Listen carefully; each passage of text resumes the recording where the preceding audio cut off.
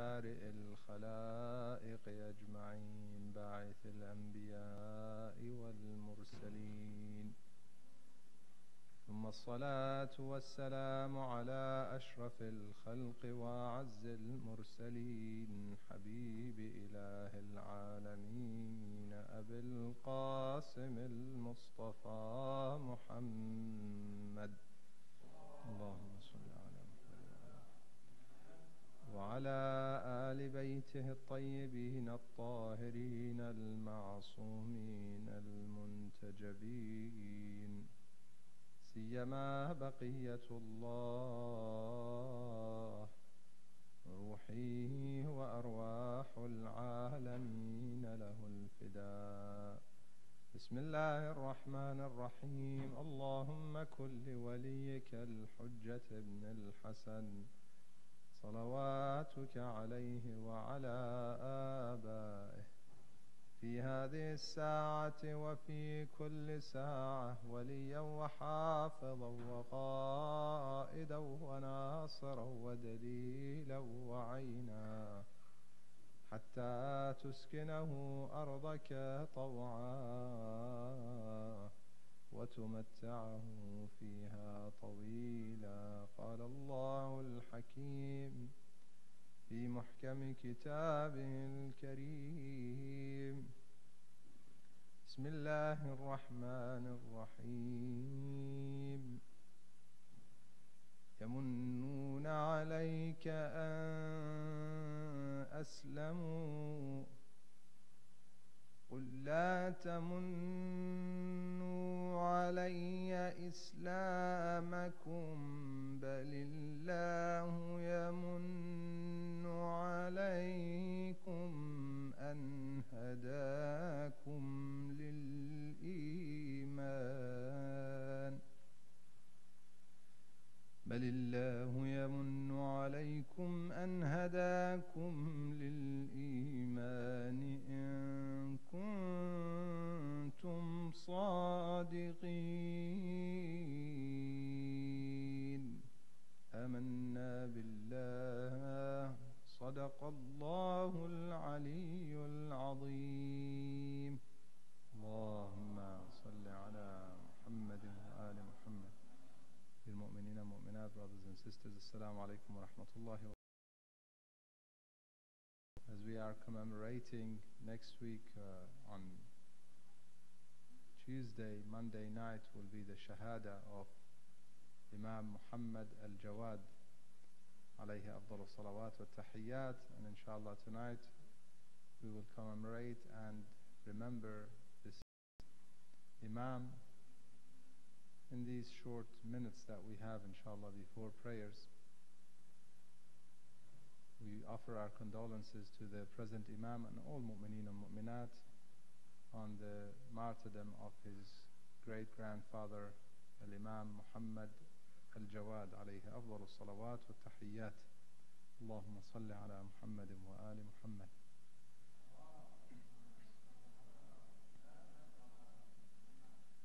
One of the concepts that often comes to mind and should be a question that we all ask ourselves is the role of mankind or my role in this world. In other words, why am I here?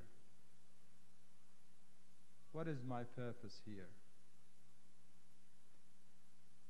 Why did Allah subhanahu wa ta'ala create me? What can I do? What should I do to fulfill the purpose of my creation? Allah subhanahu wa ta'ala did not create for no reason. There's no abath, we call it abath in the Arabic terminology and term terminology of the Holy Quran. In other words, it's not, there's nothing that has no purpose. Us humans living in this world, we might sometimes say something that has no purpose or has no benefit. or we might do something that has no specific benefit. Yet, if somebody does or says something that they don't have a purpose in mind, you consider that as an act of madness. If I do something as a aqil, as someone who has intellect, whatever I do, I have to do for a reason, some purpose in mind. I might be joking, I do something or say something, or might be passing a message, I might be sarcastic. I have some sort of a purpose, some sort of a goal in mind for what, I, what it is that I'm doing or saying. And this is expected from what we call al-uqala, anyone with intellect, anyone with wisdom. Is it possible that Allah subhanahu wa ta'ala, the most wise, the creator, the omnipotent God, the all powerful, the all knowing, the all wise, the Hakim, all the attributes that we know of Him, is it possible that He does something with no purpose? It's impossible. So then the next question should be what is the purpose? Unfortunately, we're living, and the reason why it's very important to reflect on this is because we're living in the day and age that people has, have mostly lost the plot. They don't know what they're created for, they don't realize it, and they don't even care to know. Instead, they think life is about maximizing pleasure in this world. In fact, in even when they speak in terms of psychology, they, they say and they suggest that the motive behind most of our actions are maximize, maximizing pleasure. So, why do I do most of what I do? Is to maximize my pleasure. Even when I'm trying to prevent something bad to happen to me, it's because I want to maximize pleasure. I'm not going to dis disagree with that because if we think of it from a spiritual perspective, there's nothing wrong with it. But the problem is, most people get stuck on that concept in a physical concept or in a physical world. So maximizing pleasure for them would be simply physical. Whatever it is that I can do to maximize my pleasure in this world, that is what should be the goal and what I should strive hard for in their view. Because they have not understood or they have not they're not fully aware even if they're believers. I'm not simply referring to people who are non-believers no many muslims and christians and jews and other groups of faith in by the name or that are labeled with these names Many of them, their faith is so shallow that they don't recognize the importance of doing something to maximize pleasure in the hereafter. They're stuck on maximizing pleasure here. It's as if there's no hereafter. And this is becoming so common that it is hard to tell anyone that there is a world beyond this. Do you realize that? Sometimes it's hard to convince anyone that if we miss out here,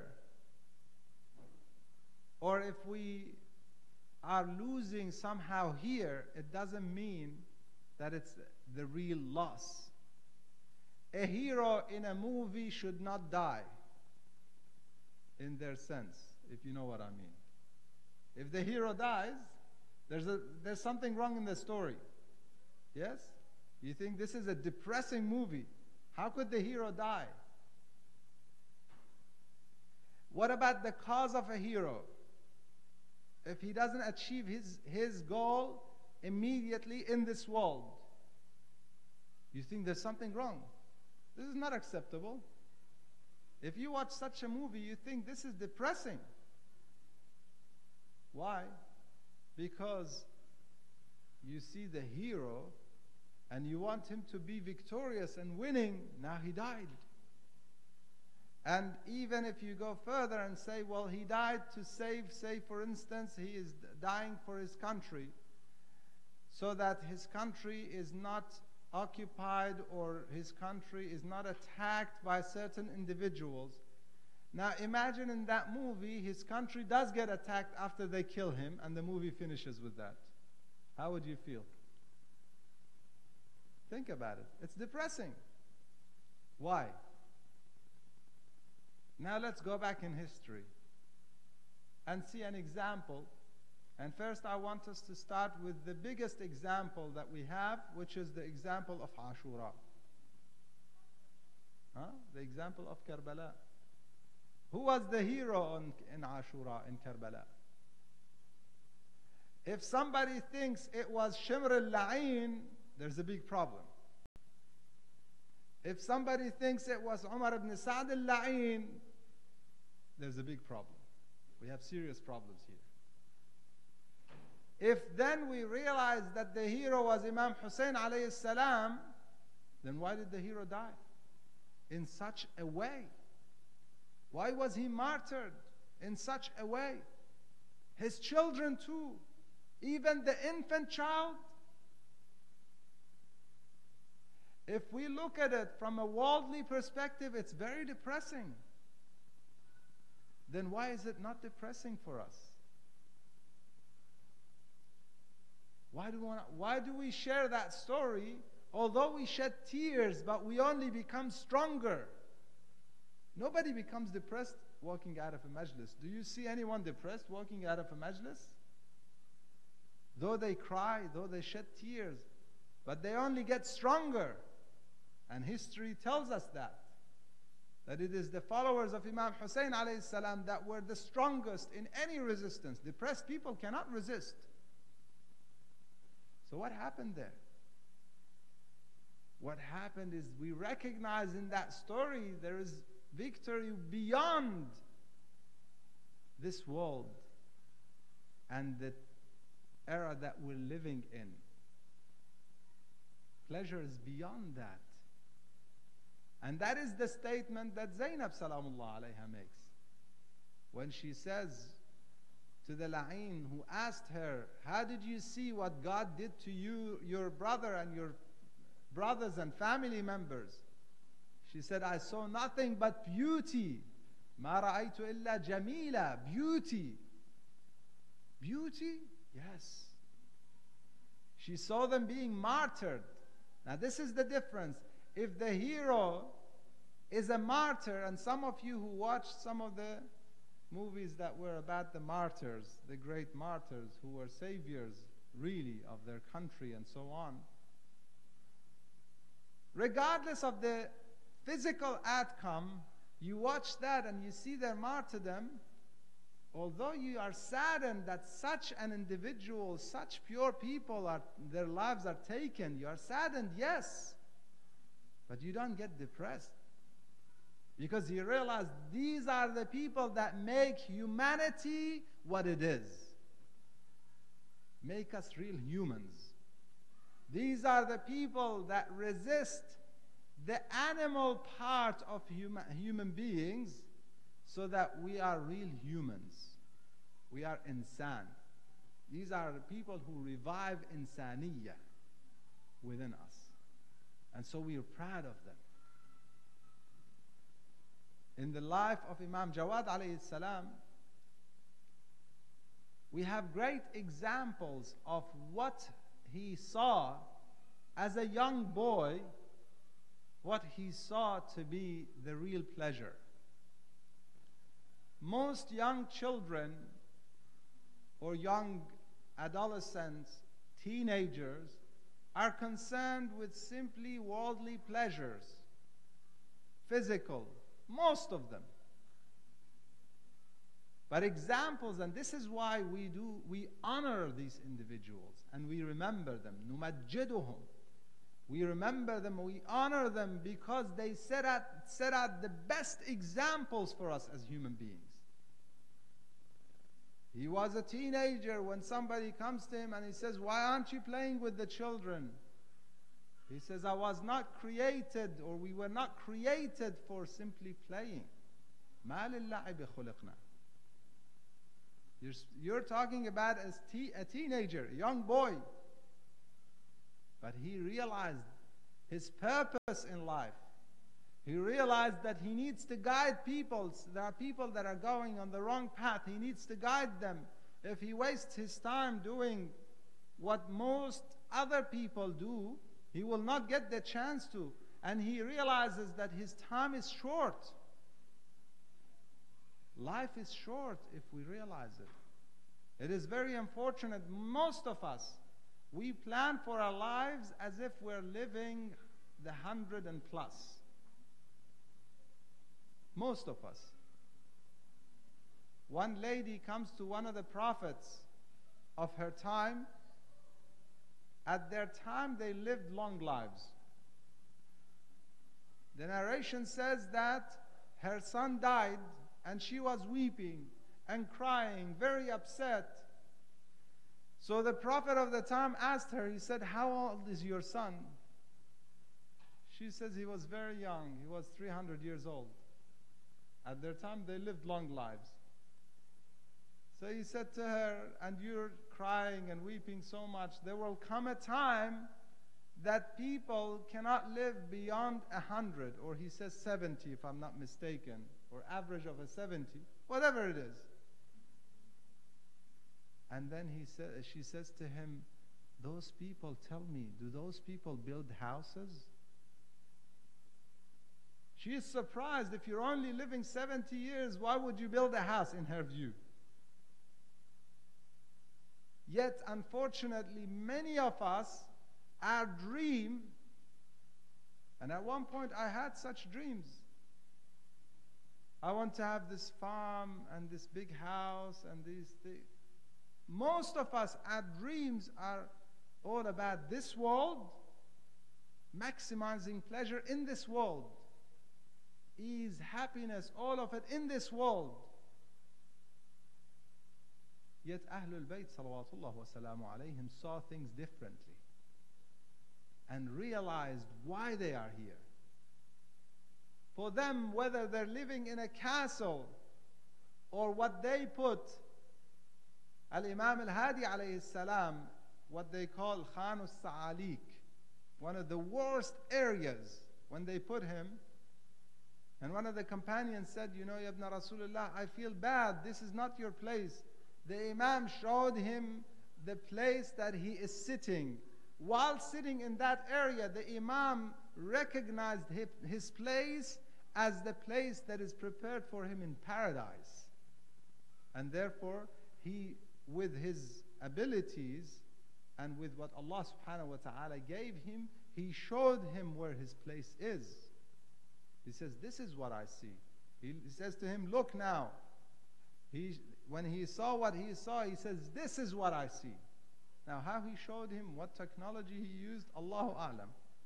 In any case, Ahlul Bayt recognized that the real homes or the real gardens or the real fruit trees and all these things that we often dream of here, they wanted in the hereafter. And they strived hard for that. And Allah subhanahu wa ta'ala, depending on how much more sincerity you have, He gives you more. Even knowledge. Don't think that Allah subhanahu wa ta'ala discriminates. If anybody thinks that Allah subhanahu wa ta'ala, that God gives the imam and doesn't give me. So he's discriminating. If anybody thinks that God gave Ahlul Bayt and did not give me, therefore God is discriminating, they have not understood the very basics of Ahlul Bayt and the Ma'sumin. Quran says, we have made them man, humans, the Rusul. And then Quran says, قل, say if there were angels walking on earth, then God would send an angel as a messenger to them. And since it's humans walking on earth, He sent a human. If anybody tells you they are different, they're non humans, they have not understood. The purpose is for them to be humans, like you and I, with desires like you and I. Do they want pleasure like you and I?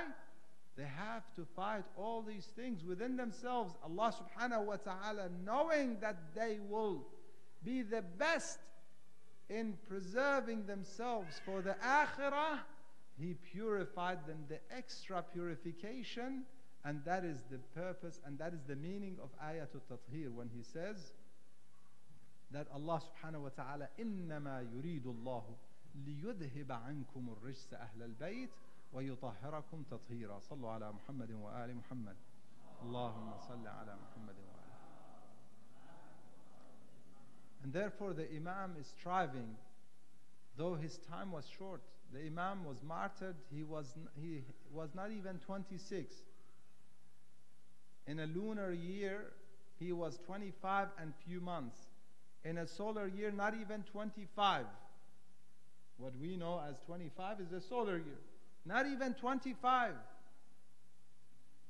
Yet, at that young age, the amount of benefits he gave to his community and the, to, to the people after him all the way until today is what continue to revive humanity and revive the real Islam of Rasulullah sallallahu alaihi wasallam. Allahumma salli ala Muhammad wa ali Muhammad. This is why we honor them. This is why we remember them. We look at the examples in his life and the knowledge that he spread and the wisdom that he shared. One of the incidents which made the Qadi of Baghdad, the highest judge in Baghdad, have the hatred that he had for him and eventually causing him to speak to the Khalifa, the Mu'tasim, then and convince him to poison the Imam was over an issue of interpretation of the Holy Quran. Then that's, that brings me to one important concept uh, on a side note. Sometimes people tend to say, you know, Quran is for everybody, Quran is Arabic, Quran is clear, bilisan and Arabiy and mubin, and therefore we should be able to read it and interpret it. But Quran says, لا يمسه إلا المطهرون. It does not say لا يمسه إلا المتطهرون. There's a difference. متطهرون are the people who purify. Mutahharun are the people who are purified. Who are purified? Quran says it's Ahlul Bayt salawatullah wa salamu alayhim. إنما يريد الله ليذهب عنكم الرجس أهل البيت ويطهركم These are the purified ones. It is not yamassu in a physical sense. Nobody can understand it except the purified ones. An example of that, Imam Sadiq gives before I come to the example of Imam Al-Jawad alayhi salam. Imam Sadiq alayhi salam, when Abu Hanifa said to him, the Imam said to Abu Hanifa, you, you give fatwa in the people of Basra. That's what I heard. He said, yes. He said, based on what? What's your basis of fatwa? He says, based on the Quran. He said, oh, okay, so you understand the Quran? He said, yes. So the Imam said to him, Tell me, what are the cities that Siru, Allah subhanahu wa ta'ala says in the Quran, walk between them nights and days in safety, aminin. What are these cities? He says it's obvious, Mecca and Medina. Then he says to the, the Imam says to him and all the audience, he says, Is it a fact that anyone walking between Mecca and Medina is completely safe? the amin from Allah subhanahu wa ta'ala, aminin means safety, complete, complete safety. He said, Is this true? The people said, No, Ya Rasulullah. We know that there are bandits on the way, there are many things that could happen, even eh, you know, spiders, scorpions, whatever. He says, Where is the aminin? Said, I don't know. Then the Imam had to explain it to him. This is a scholar that people, some Muslims call an Imam, yet he did not know the simple meaning of the, this. The two places that are, that you walk between them, aminin. Then the Imam says to him, It is the Quran and us, Ahlul Bayt. These are the aminin. You, between those, you are safe. Ahlul Bayt salawatullah alayhim are the ones who can interpret. Another example, all the judges, the greatest judge with a white beard, perhaps the Wahhabi beard, I don't know, maybe, the long ones, sitting in the, in the court of Mu'tasim. Some narrations say Mutawakkil, some Mu'tasim, Allahu A'lam. Perhaps it was Mutawakkil before his Khilafah, because it was not during the Khilafah, the life of Imam Jawad, he was not the Khalifa. In any case, the Khalifa is sitting and all these judges are there. And the jurists are there. And the discussion comes on the hand that should be cut according to the Quran. And that brings me to another point. Why do we have such a punishment in Quran? Why does the Quran prescribe cutting the hand of a thief? Is that inhumane? And that's what the modern society tries to suggest that it's inhumane Quran or Islam is very harsh and inhumane and so on. Why? Because you cut the hands of the thief. First of all, Quran explains why do we have what we call ta'zirat, these punishments. Because that way the society thrives and th survives and lives and is revived, the entire society.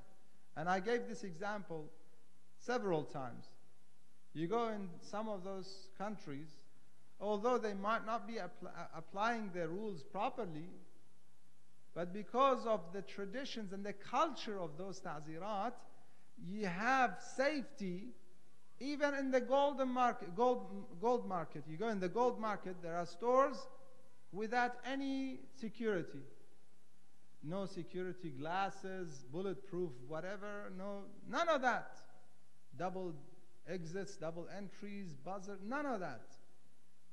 Gold market. And that's how it is. How come? Yet you come to some of the developed countries that are supposed to be the most civilized, and if there's no power for a couple of hours, what happens? All the robberies, even the jewelry. Should this is the reality of it. Why? Islam tells you how to stop it from its root. You cut one hand, that's it. Nobody does it anymore. But if you get the thief and the murderer, or someone who drives a car into innocent human beings and kills them, and they get a tap on the back of the hand and they walk off. If that's what's going to happen, then obviously the crime rate will be rising. So Islam sets certain preventative measures so that the society does not go into the crime. And that is why, after around 200 years from the life, from the time of the Prophet until the time of Imam Jawad alayhi salam, 200 years, people did not know how to cut the hand. Why? Because There was that fear. Because of the fear, there were no people with the full criteria. There are almost more than 20 conditions for that punishment to occur. And inshallah, another time we'll discuss them. One of them is that the person who steals is not in need, is not in desperate need. And many other conditions. So after 200 years, people are not sure where do we cut the hand from. They came. The judges are there. The Khalifa looks at the Imam. He's young. He thinks now the Imam wouldn't know the answer. So let's ask him and ridicule him, and then the other scholars gave their opinion. One said this is where you cut the hand from the elbow. Why? Because he says this is part of the wudu, and wudu says yad. Aydikum. Wash your hands. So this is where he cut it. Another said, no, this is enough. Why? Because he says, tayammum also says yad, and we all do tayammum on the palm. They came to the imam, they said, what about you? He said, the ulama had given their fatwa, why do you ask me? In other words, he's telling them, if you know that I'm the source of knowledge, why did you ask them? Uh, if not, why are you asking me? Then they insisted, the Imam tells them, you cut it from the fingers. Why? How come? He says, because masajid belong to Allah subhanahu wa ta'ala. This is, these are part of the prostration. If you cut it, he cannot do his sujood. إن المساجد لله. These, this is the wisdom of a young man that made the judge. The, everybody accepted that this makes the most sense. Because if it's a, a question between the elbow to the uh, wrist and then not down to the fingers, based on that interpretation, it's the best. It's the one that makes the most sense. They took it, but the judge could not withstand the fact that he was defeated by that young boy. Eventually, they convinced the Mu'tasim. According to some narrations, he then, through his niece, who was the wife of the Imam, and others say it was through the one of his ministers that they poisoned the Imam salawatullah wasalamu alayh. According to some narrations, so much pain the, the Imam was on in in the last days of his life after the poison. Sallallahu alayka ya mawlai. يا أبا جعفر يا محمد بن علي أيها الجواد يا ابن رسول الله يا حجة الله على خلقه يا سيدنا ومولانا. إنا توجهنا واستشفعنا وتوسلنا بك إلى الله. وقدمناك بين يدي حاجاتنا. يا وجيها عند الله اشفع لنا عند الله. يا وجيها عند الله اشفع لنا عند الله.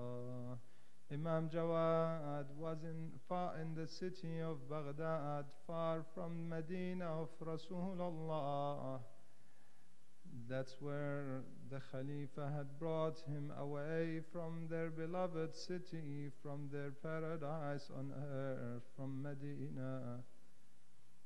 In the last days, he was in so much pain. His son Imam al Hadi is watching until the Imam finally departed this world, his soul departed. But nothing and no day is like the day of Abu Abdullah al-Hussein. The Imam in the land of Karbala, lonely on the plains of Karbala. Imam Zainul Abidin is the one narrating. He says, when it was the last moments, everyone came to the tent, worried, confused, what is happening? They came and said that the heavens have changed. The color has all gone black. The heavens have changed. What is happening? Ibn Rasulullah. Then he says to them, Open the side of the tent. It was then that they realized ذد أنا بيد بيد الإمام with the head إمام زين العابدين كيف السلام؟ السلام عليك يا أبا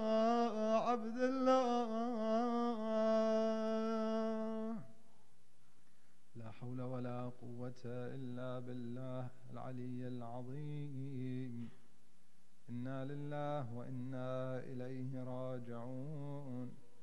وسيعلم الذين ظلموا آل محمد أي منقلب ينقلبون والعاقبة للمتقين. نسألك اللهم وندعوك باسمك العظيم الأعظم الأعز الأجل الأكرم. إلهي بمحمد وعلي وفاطمة والحسن والحسين وبالتسعة المعصومين من ذرية الحسين. استجب دعواتنا يا الله. إلهي بجواد الأئمة يا الله. أغن- أغننا بحرا بحلالك عن حرامك يا الله. أغننا عمن سواك يا الله. إلهي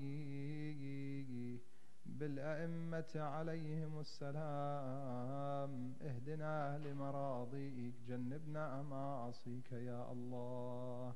شاف مرضانا ارحم موتانا. بحرمة السورة المباركة الفاتحة تحفها صلوات. اللهم صل على محمد وآل محمد.